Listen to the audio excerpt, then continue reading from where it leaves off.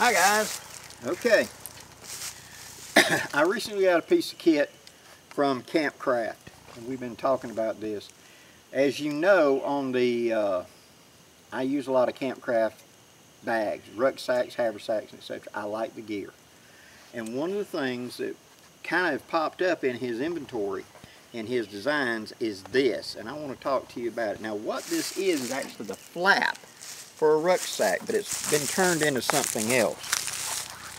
Now this is the flap like you get on the rucksack, okay? But what he's done is he's made it a separate piece as a pad, as a whatever. It also opens up and you can put gear in it and he's got part of a reflective, you know, like a insulated cover in there as an insulation bag. And then right in the middle, he's put a pair of tie ties so you can come up and tie this closed. Now what I see when I see this is frame inside a rucksack. Because when I pull this up and tighten it up, it's relatively stiff. And that means that whenever I set it in the rucksack, it's a pad against my back, one. Two, when I get to where I'm going, if the ground's a little nasty or whatever, and I just don't want to sit on the ground, I flip open the flap of the rucksack, I grab this and I slide it out, and I got a pad. I can sit on it just like that. Instant insulation from cold, wet ground. It's waxed canvas, so it's, and it's good heavy duck canvas, so it's going to take a beating. So now I've got something that's going to protect my rear end from insects, from water, from everything else. Also that insulation in there I can also open this up and lay it in my hammock as a hammock pad in the summer. Because with that tie up there at the top, it'd be easy for me to hook it up on the ropes in the hammock and have this be the pad underneath me in the hammock. Since it's insulated, it's going to give me a little bit extra insulation right here against my back. Now that's a big deal in the hammock down here in the south because down here, even if you've got a mosquito net, if the, if the Skeeters can get to the other side of it. They can sting you through a hammock.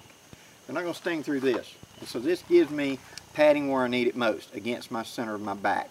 Okay, It is wide enough, as you can see, to handle that job. It also, you can easily pack gear into the two ends, going that way and then up that way, because the two flaps kind of underlock. So I can put a little gear here, put a little gear there and then fold it in half like that and go around something. Those guys that like to do a blanket roll, you know where you just roll up the gear in a, a, a tump line type blanket roll, this would be a great thing to put on the outside of it. Now there's a historic precedence for this type of bag, I guess you want to call it, and I don't know if they've got an actual name for it yet. If they have, I'll include it at the end of this. But back in the old buckskinning days, we used to make something out of rawhide similar to this. It was called a parfleche. And that was out of the plains, uh, the Great Plains. And the Native Americans would make it and it had a hole down the middle of it. And you packed gear into the two halves and then folded it in half. And that was a way of carrying things. That often be decorated with paintings and stuff like that. You see them in a lot of period paintings. And it was called a parfleche. Basically a saddlebag, okay? But what this gives me is it gives me a lot of versatility in a small, compact package. And with us working on rucksacks, haversacks, etc., this will become a pad in that rucksack to give me a pad that I can pull out easily to be both a more comfort in a hammock, more insulation off the ground, something I can throw on the ground and sit down on and do a project on or whatever quick and cleanly and then put back into the back of my rucksack without a big problem. It's in and out clean and easily. With a hanging cord I can easily hang it up to dry if it gets wet. I can also, like I said, hang it up in a hammock, be like a pillow, if nothing else.